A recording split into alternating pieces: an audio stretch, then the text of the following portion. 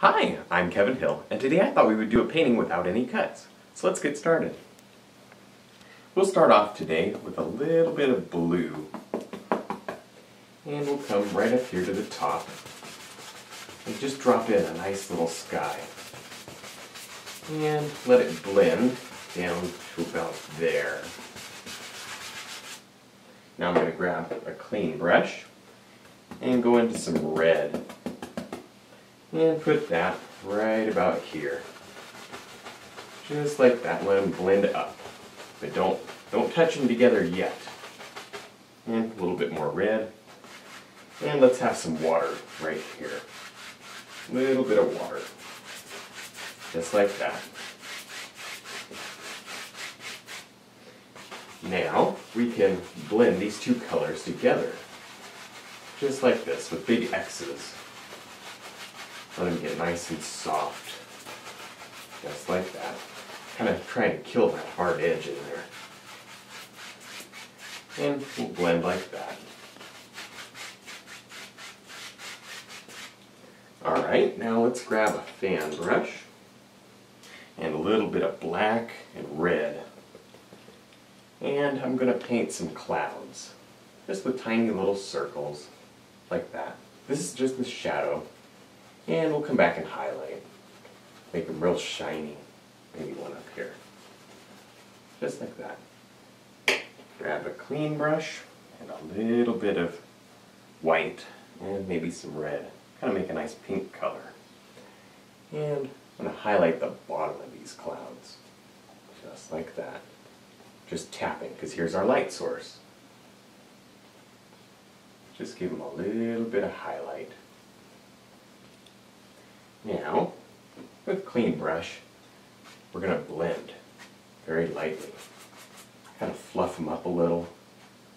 Just make them look soft.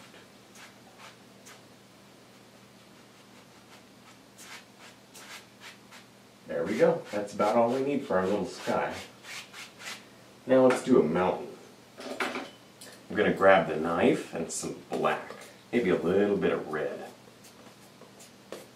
And let's do our big peak right there. Just drop it in. And maybe one right there.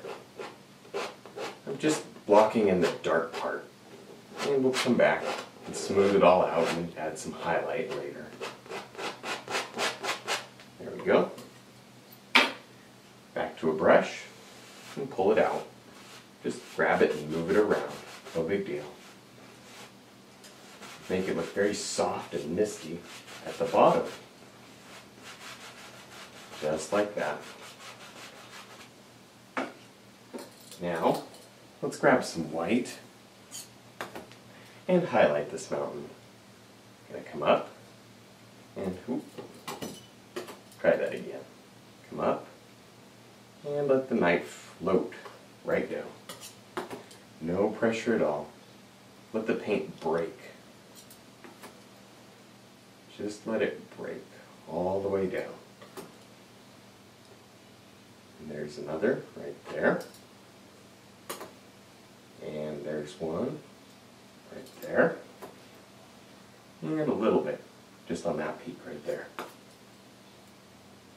Maybe that mountain kind of wraps around like that. Now, I'm going to grab some blue and white,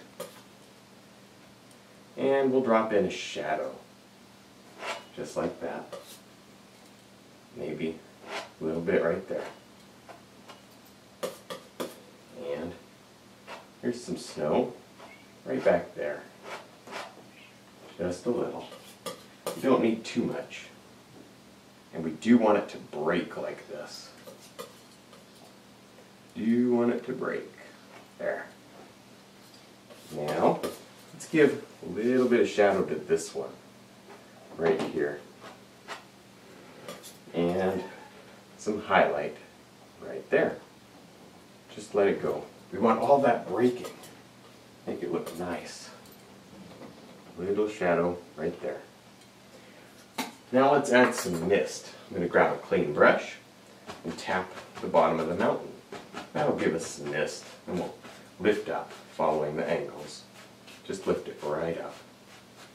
And that's all it takes to make a little misty spot at the bottom there. Let's add some trees. For that I'm going to grab fan brush and some black and red and some blue. And grab a little bit of white. Lighten it up a little. A little bit more white. And let's do let's do a pine tree right there. And I just touch and push up. Just like that. Create a nice little pine tree. Maybe there's a few distant pine trees like this. Just using the top corner of the brush and kind of tapping just to suggest some trees in the background. I'm even going to lift up, just like that. There's some. There's some more. Grab a little bit more color. Let's put some detail into another one. Just a few little limbs. There we go. There's one. Alright. To pull a little of that color down, reflect it into the water. Clean brush, we'll go across lightly. Grab a little of the color and move it around. Just like that. No big deal. Alright. Now, let's grab, I guess we'll grab a fan brush. Go into some real dark black. Very dark. Let's make some close trees. There's one. We'll just push up. Take the brush and bend it up.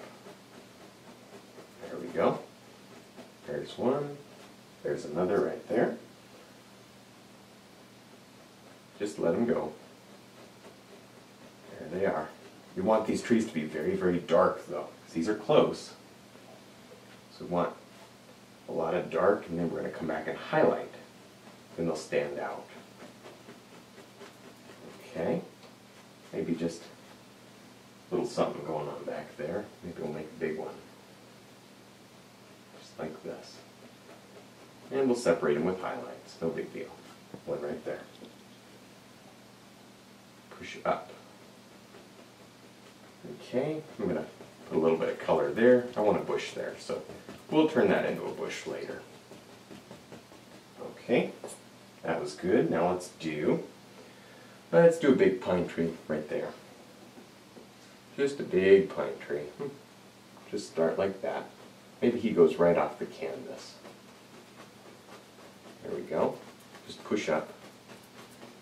Always pushing up. But look how dark he is. It's so important that we get our pine trees very dark. At least the ones in the foreground. Because then they'll look close. If you made them light, then they're going to look like they're far away. There we go, right over the mountain. And just bring them down, no big deal. There we go. Just smashing in the dark color, not too worried. Yeah, that's probably far enough right there. Maybe make them a little darker. Just like that. Alright, now let's grab a one inch brush and go through some white and a little bit of red. White and red. Okay, let's highlight some bushes here. Just push, touch, and leave some dark at the bottom. There we go. Gonna add a little bit of thinner. Make the paint thinner. So it'll stick. There we go. Just like that. And maybe a little right there. Okay. Now we can highlight our evergreens. A little bit of white on the brush. And we'll just tap. Just tap leave some dark at the bottom. And dark in between the limbs too. Just like that. There's some. We don't want too much. These are still not the closest. We'll put a little more detail in this one. Just like this. Just tap. Leave a lot of dark in your tree. It's so important that you leave dark. That's what gives your tree a lot of distance and form and shape, so it didn't look flat. if you were to come through here and highlight the whole thing white, it's going to look flat. I'll just drop those in like that. There we go. Just a few. Let it get darker down there at the bottom. Alright, now we'll grab some dark color. And, well, actually, let's give him a little better top there. That's a little better. Now let's take some of that color, pull it down, like that. Gives us something to reflect, just like before. Pull across, make it look nice and soft. In fact, if you want to get real fancy, back to that brush with the white, and there's our bush reflected right into the water.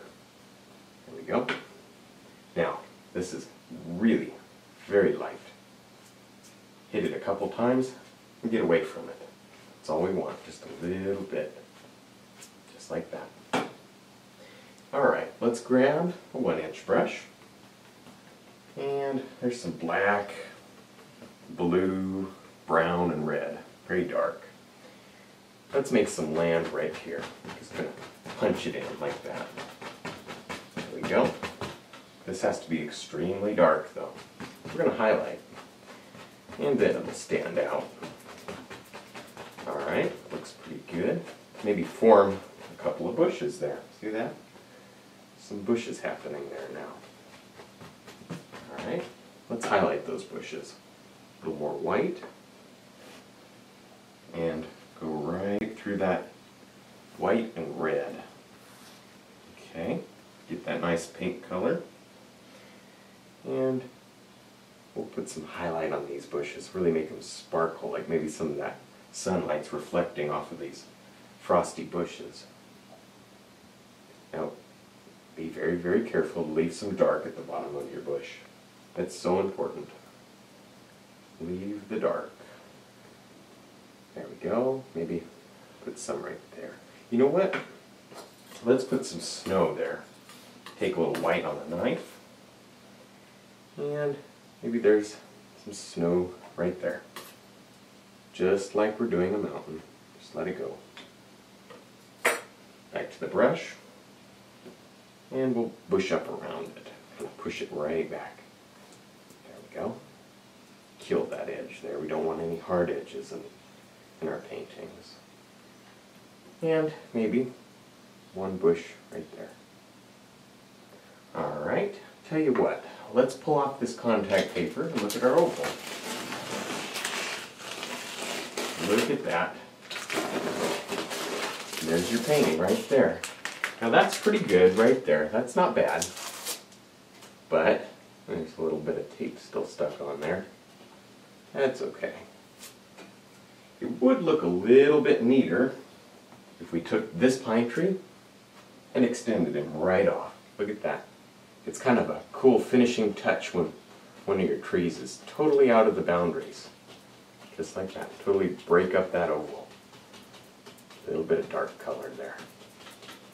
Just like that. And kind of let them fade right back into the oval there. Maybe break up that edge a little. There we go. Alright. Back to the white. And we'll fix our bushes that we kind of messed up. Just like that. So I hope you had a lot of fun. Hope you enjoy these unedited paintings. I'm going to be doing some more videos soon. Don't forget to check out my website. And thanks for watching.